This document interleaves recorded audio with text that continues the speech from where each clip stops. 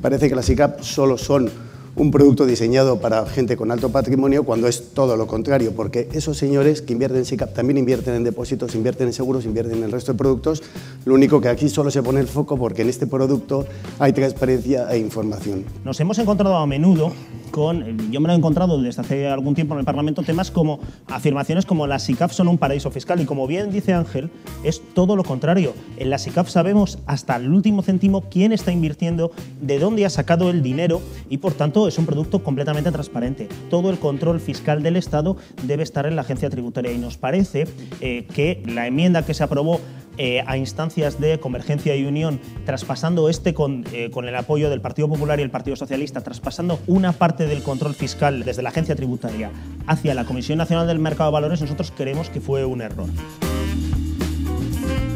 Nos estamos acercando a los máximos históricos que hemos tenido en el pasado y, eh, es bueno que el ahorro encuentre en estas figuras de inversión colectiva eh, la manera tanto de eh, vehiculizarse como de financiar la economía real en España y en Europa. ¿Cuál es el problema de las ICAPs? ¿Que es una institución de inversión colectiva o el problema son las instituciones de inversión colectiva? Porque si son las instituciones de inversión colectiva, el problema es el ahorro de los españoles en este caso una vez establezcamos un número de partícipes, ese número de partícipes tiene que cumplirse. Y a nosotros nos parece eh, que sería preferible una, mm, eh, una institución con un menor número de inversores, pero que estos inversores eh, fuesen reales. Es que el mínimo de 100 accionistas no es que hubiera que bajarlo, es que hay que eliminarlo. El carácter de colectivo, como ha definido ESMA, que es la Agencia Europea de Supervisores de Valores, que está en París, donde se aglutinan todas las comisiones nacionales de valores, para que nos entendamos, ha definido explícitamente un criterio que dice que el carácter de inversión colectiva no se da por un número, mínimo de inversores, que además dice que puede ser incluso uno, y es que está puesto así explícitamente,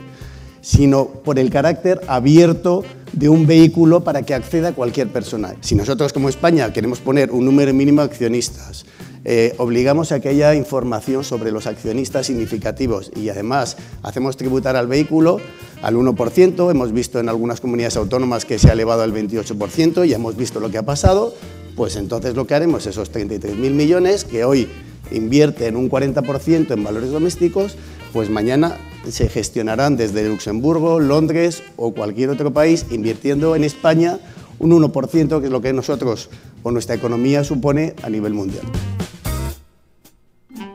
Vamos a intentar enfocar el tratamiento fiscal del ahorro de una manera ventajosa.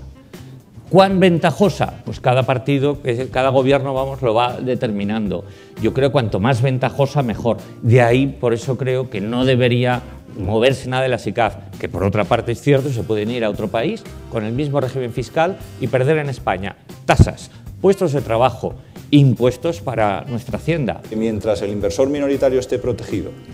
y eh, mientras se mantenga la responsabilidad del gestor fiduciario que le atribuye la ley